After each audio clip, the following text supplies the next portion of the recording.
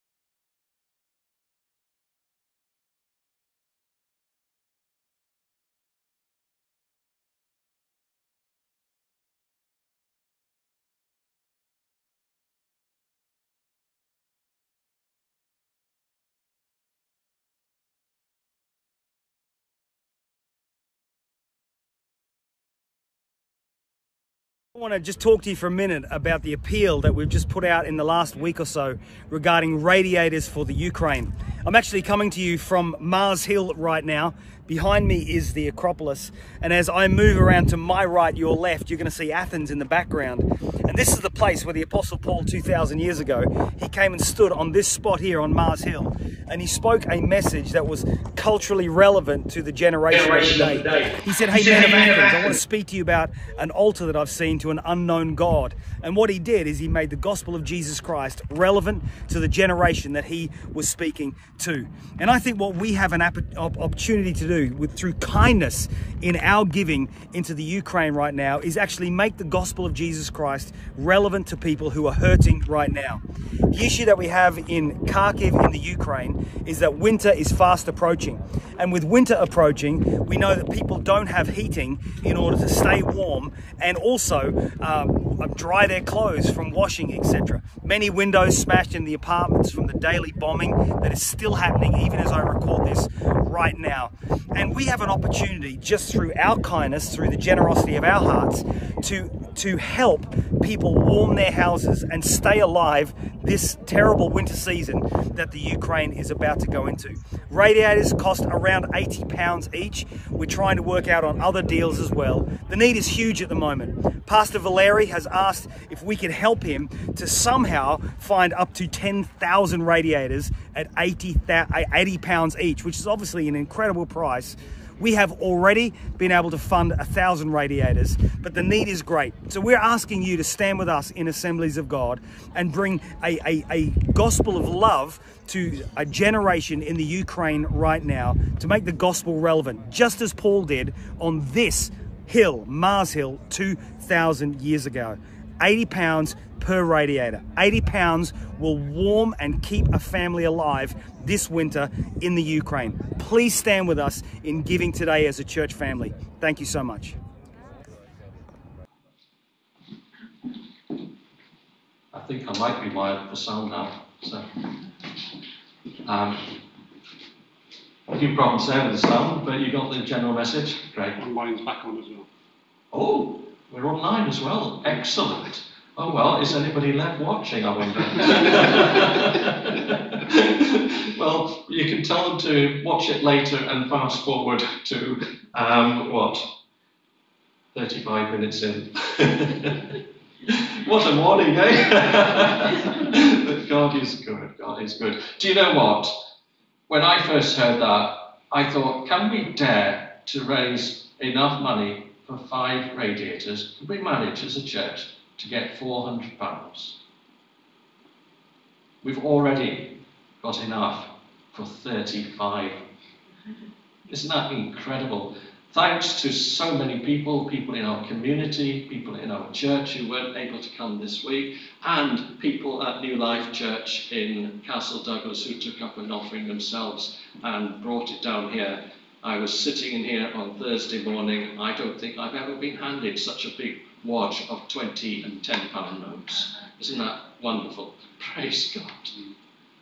So, it's Advent Sunday today. Advent from the Latin for coming. Traditionally, the time to start preparing to celebrate the birth of Jesus, but also a reminder of the need to prepare for his second coming. Have you got an Advent calendar yet? When I was a child, they always had a nativity scene. And the pictures behind the doors were relevant to celebrating Christ's birth. Do we have a picture here? Oh, yes. Good, good. Nowadays, everyone's at it, from chocolate, cosmetics, and candle makers to Lego and goodness knows who else. They've lost the plot. And despite the commercial opportunities, they've miscalculated what Advent is all about. Just like our church countdown devised by Micah was designed to help our online members prepare for worship, countdowns are useful. And if we get our calculations right, they enable us to be ready at the right time. How good are you at waiting? Do you make good use of the time to get ready? Or are you more of a last minute person? A week or two ago, Tesco online mm-hmm. slots for Christmas were released at 6 a.m. I'd seen the publicity and I was ready, but imagine my surprise when, within what seemed like a split second, there were already over 300,000 people ahead of me in the queue. And I was told I had over an hour to wait. No problem. I knew there'd be plenty of slots, and I had plenty of other things to do while I waited, but I still had to be ready when my turn came up. Did I have time for my usual quiet time to sort out the fire or have a shower? Imagine miscalculating and missing my slot. I would have been in trouble. Mm. By the one who slumbered on, I hasten to add. Back in August, there was great excitement as NASA prepared to launch Artemis, and the countdown had been going for quite some time. But then, after all the build up, the launch was scrubbed on the 29th of August, only a short while before the planned liftoff. There'd been a miscalculation, and the temperature of one of the engines was running too high. It was rescheduled for a few days later, but scrubbed again, and eventually didn't take off until the 16th of November. It was around 300 years after the birth of Jesus that the church Christianized a number of ancient pagan and midwinter traditions and gave them new Christian significance. But if we look at how so much of the world celebrates Advent and Christmas now, it looks like they've badly miscalculated. Because the pagan and commercial trappings are far more conspicuous than any Christian significance. Look at this picture. How much evidence do you see in all these Christmassy things of Christ and the biblical account of his birth? I'm not sure how well you can see that with the sun shining in this morning, but let's not complain. Most of these things are harmless fun, by the way, and in their own way, they help to keep the Christmas season special. Many families have their own traditions too, which keeps the Christmas season special for them. The problem is one of perspective. The birth of Jesus has mostly been crowded out by the world's traditions. And that means people are missing out on Jesus and his incredible indescribable free gift of salvation. Because people's Christmas plans frequently make no room whatsoever for Jesus. They miscalculate and they peak too soon. And by the time Christmas Day arrives, they're tired of it, too busy, too exhausted, or both, to be even bothered with Jesus, let alone seeking his presence and coming together to adore and worship Him, there's still no room left at the inn. Others have totally miscalculated it because they were never really interested in the first place. And when their fantasy Christmas bubble finally bursts, they just coast aimlessly through that idle post Christmas period to New Year and onward to the January blues. An existence so far removed from our joyful celebration of the Saviour's birth and his abiding presence and the Christmas hope with which we look forward to the year ahead miscalculated countdowns to Jesus' birth are nothing new. In the book of Daniel, God revealed things which many have tried to interpret as an exact mathematical countdown to the birth, death, and second coming of Jesus, the Messiah. The religious authorities knew this and they taught about it. But in Matthew 2, we read that when wise men from the east came to Jerusalem seeking him, no one else was ready. No one. The word used to describe them, magi, is the same word used 14 times in the book of Daniel. They were almost certainly from Persia, where Daniel had received his prophecies, and all those years later they did, in fact, calculate the correct time. And they followed the star, first to Jerusalem and then on to Bethlehem. It wasn't just Daniel and in the next few weeks, we'll be looking at some of Isaiah's messianic prophecies too. You see, God had the best Christmas plans of all. He'd even provided a countdown to the advent or coming of the long awaited Messiah. But the Jewish religious authorities miscalculated, and most of them missed it. Apart from a motley bunch of shepherds, and two elderly servants of God in the temple in Jerusalem. Nobody else even noticed. Because none of the religious establishment or ruling classes even knew that he'd been born, let alone where he could be found. But the Magi knew. Somehow their knowledge of God's word and their faith had combined so decisively that they followed that star and even came bearing gifts, ready to worship the newborn king.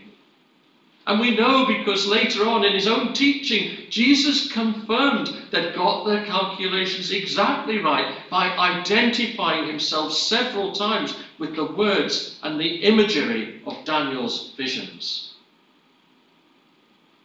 And that's why we can look forward with eager anticipation too to his return. And as well as helping us prepare for Christmas, Advent is a time when the church focuses on Jesus' promised return. This time the Bible doesn't provide a mathematical countdown, but Jesus did speak of various signs which we should be aware of. And although there have been some who have tried to read the signs and calculate the exact date of his return, they will almost certainly miscalculate. Because even Jesus said he didn't know the date and the time. He knew the signs though. And we know that so many of the signs we have witnessed in the last few years are consistent with the signs Jesus predicted. And we know that he told us to be ready. Are you ready? Because ready or not, he will return. There are a few countdowns going on in our family at the moment. Like our daughter in law and son who are expecting their first child before Christmas, our eighth grandchild. Will he arrive on time? Or will he keep them waiting? We have no idea. But what we do know is that they're ready. All the preparations have been made, even a bag ready to take along to the hospital on the day he decides to make his appearance. And then next year, we have two weddings a nephew and a niece. And judging from the wedding websites and the updates from my mum and sister, the ladies of the family at least are making good use of the countdown, all determined to look their best on the two big days. At least we know the dates, because it wasn't always like that. In New Testament Galilee, weddings were arranged by the families of the bride and groom. The people in each village were too closely related to one another, so they arranged for their sons to marry a girl from the next village. Once agreement was reached and toasted with a glass of wine, that was them engaged. But before they could marry, the son was expected to prepare a place for them to live, usually an extension to his father's house. No date was fixed for the wedding. It just happened when the home was ready. So the bride to be just had to patiently wait, but remain ready in case her groom came for her. No, mo- no mobiles or WhatsApp in those days. The bride would select her bridesmaids who would be expected to be ready too, day or night, as would the other invited guests. Because they didn't know just when the groom would come for his bride. When the new home was ready, the groom would travel to his bride's village, accompanied by his best man, who would sound the trumpet to announce his arrival. Those who were ready would follow them back to the groom's village and were admitted to the function because they were with the groom. If they were wise, before they went to bed, they would make sure they had everything ready, just like my daughter in law, before they settled for the night, just in case. Weddings were a source of excitement, and the whole village was expected to be ready to follow the wedding party back to the groom's village, where there would be an amazing feast. Nobody dared miscalculate this, because if they weren't with the groom, they would miss the big day. I'm going to ask Helen now to come and read something about that.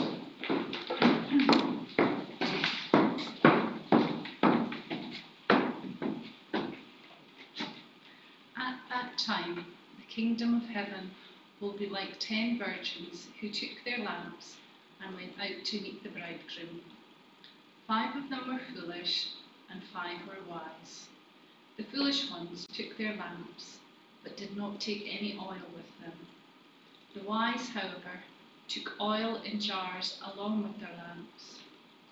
The bridegroom was a long time in coming, and they all became drowsy and fell asleep. At midnight the cry rang out, Here's the bride here's the bridegroom, come out to meet him. Then all the virgins woke up and trimmed their lamps. The foolish ones said to the wise, Give us some of your oil, our lamps are going out. No, they replied, there may not be enough for both us and you. Instead, go to those who sell oil and buy some for yourselves. But while they were on their way to buy the oil, bridegroom arrived. Virgins who were ready went in with him to the wedding banquet, and the door was shut. Later the others also came. Sir, sir, they said, open the door for us. But he replied, I tell you the truth, I don't know you. Therefore keep watch, because you do not know the day or the hour. Thank you, Helen. Thank you for that. Some people find it stressful enough preparing for a wedding when they do know the date. So just imagine the anxiety of not knowing. In the case of this parable, it looks like they may have seen the signs that the groom might be on his way that night. So you would surely have expected that they would all be ready, wouldn't you? It was pitch dark outside. No street lighting in those days, but only half the bridesmaids had sufficient oil. The five foolish bridesmaids had to go hunting for oil. And while they were doing so, the wedding party headed off to the groom's village. Then, as was the custom, the doors to the function were closed behind them. It was too late for those five foolish bridesmaids. Have you ever arrived late for a wedding? Perhaps you had difficulty finding the church or the hotel for the reception, or your taxi took you to the wrong place. I heard of one couple who managed to get to the venue with the help of Google Maps. They went in and enjoyed a welcoming drink, popped, in, popped their gift in a pile just inside the door, and were soon tucking into canapes. But bit by bit, they realized that they didn't recognize any of the other guests. Not one. So they asked somebody whose wedding it was, and it was then that they discovered their miscalculation. The venue was part of a chain, and that they'd gone to the wrong place. So they retrieved their gift and they headed off, and eventually they found the right wedding. Jesus clearly had something much more important in mind than Google Maps God's big plan. If we arrive at the wrong wedding venue, we just end up a bit red faced. We might miss the meal or the first dance, but that's all. But Jesus told this story to his disciples just a matter of a few days before he would be crucified.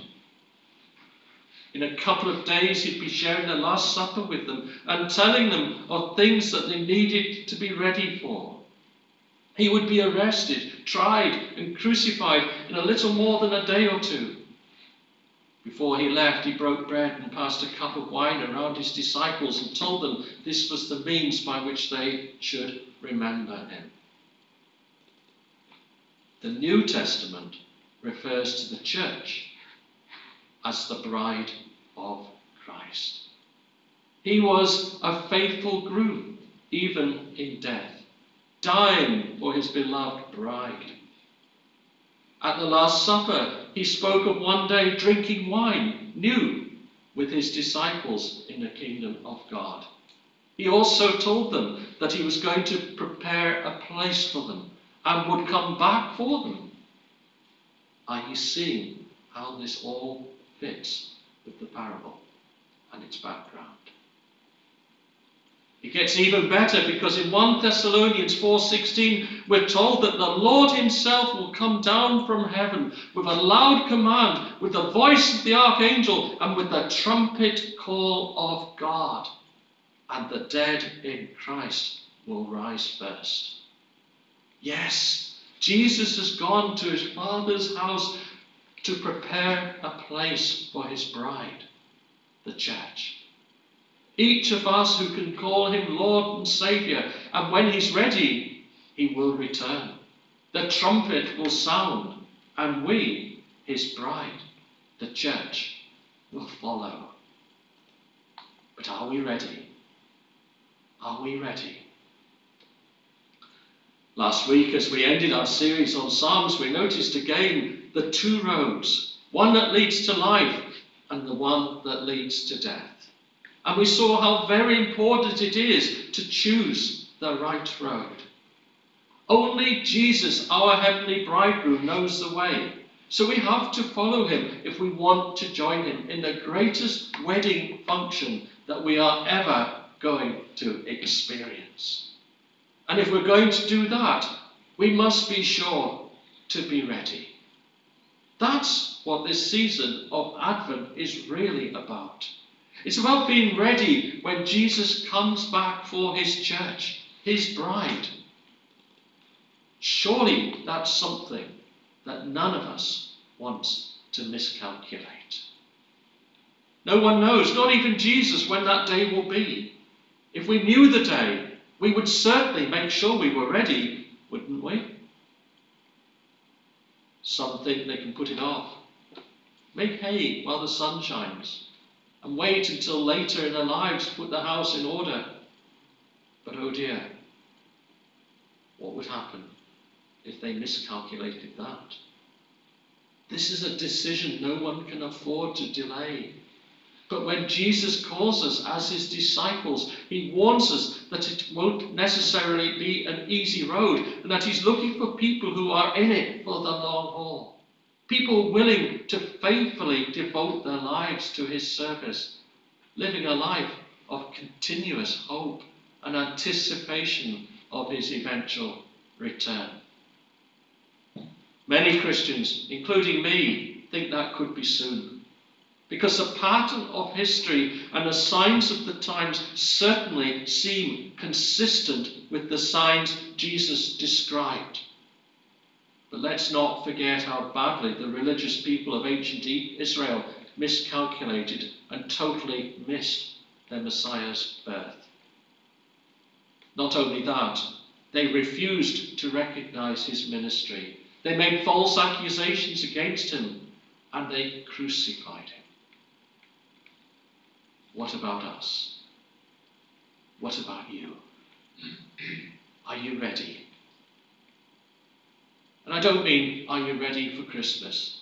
Are you really, really ready? Do you have enough oil in your lamp to follow Jesus when he returns for his church? The lamps in the parable, by the way, represent God's word, the truth. As the Bible says, your word is a lamp to my feet and a light for my path.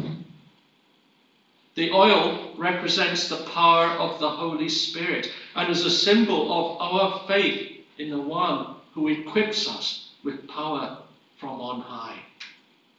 That's what keeps our lamps burning and ready as His truth continues to shine in and through us. It was a combination of word and faith that enabled the Magi to get their calculations right. This December, in among all the talk of getting ready for the big day, whatever that means to different people, you will find that they will often know enough of the story of Jesus to know about him as a baby in a manger, or Mary and Joseph, the angel Gabriel, shepherds, and angels singing. But they've been crowded out, like in that picture we saw. The Magi had much more than vague knowledge of the Word of God. They had faith. And that faith was strong enough to prompt them into action, to follow the star that led to Jesus. Faith, the confidence in what we hope for, and assurance about what we do not see. Do you have that kind of faith, hope, and assurance? Are you ready? What does it mean to be ready? It means simply loving Him and loving others in His name and serving Him, however He called you and equipped you to serve. And today, that includes giving generously to bless the people of Ukraine this Christmas. If, when Jesus returns, he finds us faithfully getting on with our assigned roles and tasks, all will be well. He can return as soon as God is ready, and all will be well. We will be ready, no risk of any miscalculation. Shall we pray? Oh, Father God, Father God, we just thank you. We praise you. We thank you that you had this amazing plan for the salvation of, your, of the world, the salvation of all humanity. You want everyone to be saved, Lord. You call us to share your love for others. Help us, Father, not to crowd you out this Christmas. Help us to find the time to focus on you. And help us, Father God, to be lights to the world, put our lights up on the lampstands, that the whole world would see something of your love, that more and more would want to come this Christmas to simply adore you. Oh, come, let us adore him. Christ the Lord. Amen. Okay, thank you. Um, folks at home, I hope you heard that. I'm sorry about the problems earlier, but um, hopefully you were able to join in with that. We can join in with our last song.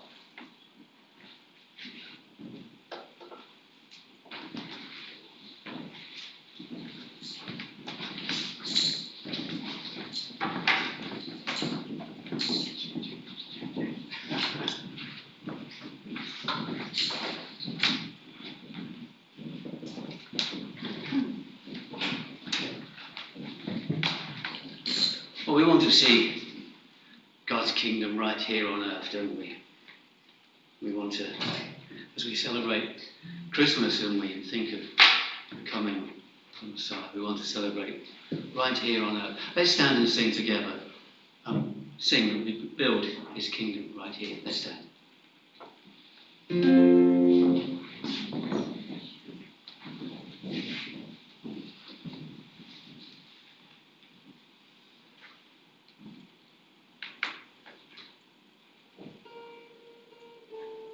Thank you.